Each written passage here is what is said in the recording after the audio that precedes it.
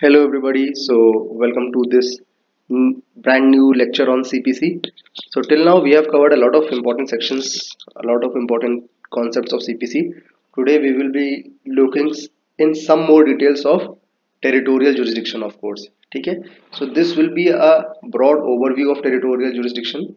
Okay, if you want in-depth lecture, I also provide paid online classes. You can uh, mail me your queries at yourlegalbuddy09 ठीक at gmail.com ठीक है तो, section earlier we have learn that section from section 16 to 20 it talks about territorial jurisdiction ठीक है कि how to decide where to file a suit उसमें territorial jurisdiction का अगर जो क्वेश्चन मार्क है उससे चीज़ें डिसाइड होंगी और कैसे डिसाइड होंगी। सेक्शन सिक्सटीन से 19 तक पढ़ लिया था।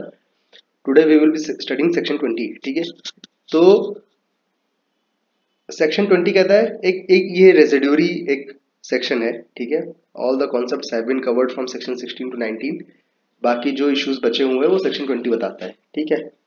नाउ सेक्शन 20 एग्जांपल से समझते हैं हम लोग ठीक है? Let's say A is a plaintiff and he has two defendants B and C ठीक है? Now B resides at one place he works for gain, gain at another place. And his normal place of business is at another place, ठीक है? Similarly for C, reside कहीं और करता है, work कहीं और करता है, और उसका place of business कहीं और है। ठीक है? Now now how will we decide कि किस जगह पे हम लोग केस करेंगे? ठीक है? क्योंकि डिफेंडेंट का जो लोकेशन होता है डिफेंडेंट के लोकेशन को प्रेफरेंस दी जाती है जहाँ पे कोर्ट केस होता है। ठीक है? जहाँ पे जुरिस्डिक्शन माना जाता है।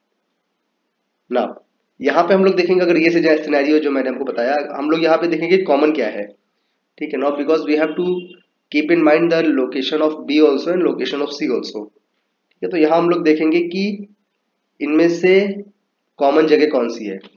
अगर हम लोग देखते हैं कि बी का प्लेस ऑफ़ बिज़नेस और सी का रेजिडेंस एक ही जगह है तो उस जगह वो केस फ़ाइल कर दिया जाएगा। ठीक है?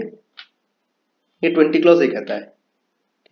अगर आपको कोई कॉमन नहीं मिलता है, इन छह में से आपको कोई कॉमन नहीं मिलता है तो आप किसी भी एक जगह फ़ाइल कर दीजिए।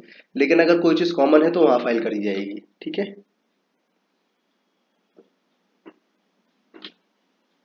ना अब क्या कहता है? If nothing is common then file at any place out of six ये हम लोग देख लिया।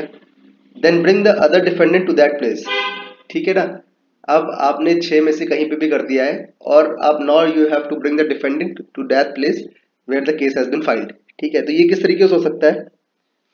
डिफेंडेंट या तो खुद चल के आ जाए, या कोर्ट से ऑर्डर कराया जाए कि I have filed this court I have filed this case here but one of the defendant is residing और वर्किंग फॉर प्रॉफिट और doing such thing at there please by your order please bring him here at this particular place ठीक है? तो court order करेगा।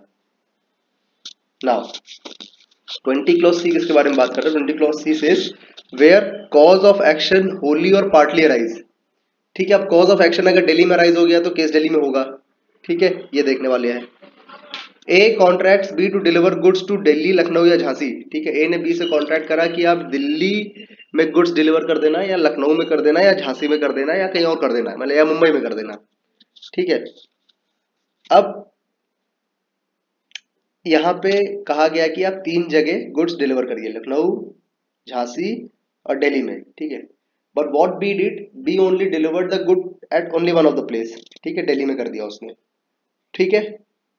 अब cause of action आपका कहाँ arise हो सकता है? कॉज ऑफ़ एक्शन आपका लखनऊ में भी अराइज हो सकता है कॉज ऑफ़ एक्शन आपका झांसी में भी अराइज हो सकता है, ठीक है? क्योंकि इन दो जगह पे गुड्स डिलीवर नहीं हुआ और इन दो जगह पे कॉन्ट्रैक्ट ब्रीच हो गया तो कॉज ऑफ़ एक्शन इन दोनों में से किसी भी एक जगह भी हो सकता है, ठीक?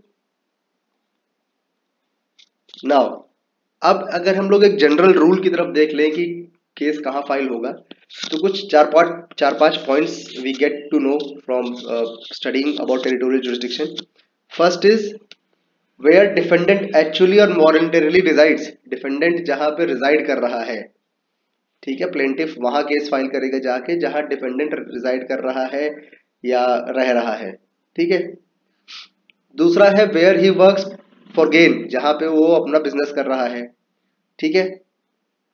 Where cause of action wholly और इन पार्ट अराइजेस ठीक है? कॉज ऑफ़ एक्शन अगर कोई पार्ट भी अराइज हो जाता है, तब भी, या कॉज ऑफ़ एक्शन कोई पूरा अराइज हो रहा है तो उसी जगह करिस करेंगे जहाँ पे कॉज ऑफ़ एक्शन अराइज हो रहा है। ठीक है? ना अब प्लेंटिफ के पास he has these four options ठीक है? अब he can choose from which of the following options he has to which of the following principle he can choose to file the case ठीक है? नाउ ये हम लोगों ने पढ़ लिया, ये पढ़ लिया। नाउ अब यहाँ पे एक कॉन्सेप्ट ऐसा आता है कि जब अगर आपको कंपनी के अगेंस्ट केस फ़ाइल करना है then what will you do ठीक है? If you have to file a corporation what then what you have to see first of all you have to see place of business उनका क्या है। ठीक है? Second you have to keep in mind cause of action कहाँ पे rise हुआ। ठीक है? इसको सीधे एग्ज़ाम्पल समझते हैं। ठीक है?